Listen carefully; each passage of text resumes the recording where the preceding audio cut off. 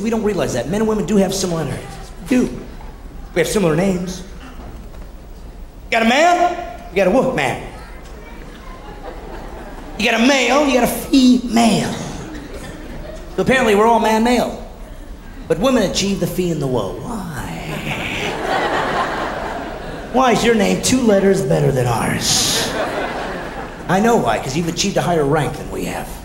It's a higher rank.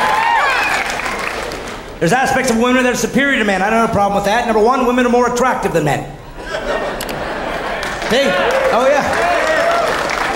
Even the guys are going, eh. Oh, he's right. He's right on that one. We're pretty ugly, basically.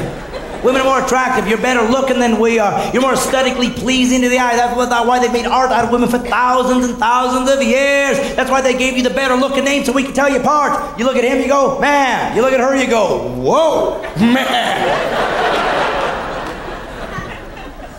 Plus, women have power because women have purses. Women can survive in the desert for years with the items in their purse alone. Amelia Earhart is alive somewhere, eating lipstick. I never look in a woman's purse. They have things that a man have never seen before. Crazy products. Vaseline, lip therapy. Never heard of that. Saw it girl's purse. Lip therapy. What do you do? Put it on your lips. It says, "Tell me about your mother." What happens with that stuff? They got a product in case their lips go over the edge. We can't find our inner child.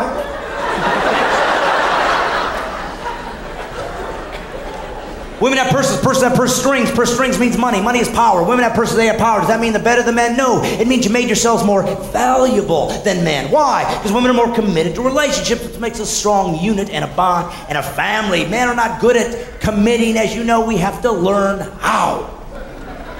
We try. I will love you and only you. there goes another one.